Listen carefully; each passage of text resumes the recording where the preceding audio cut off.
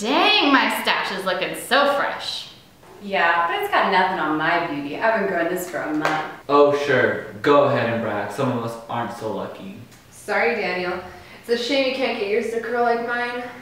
Mine's almost there. Mine too. Okay, team, we have the update. This year's Movember contributions are higher than last year. You guys are awesome. and we all know who we have to thank. Who? You don't know?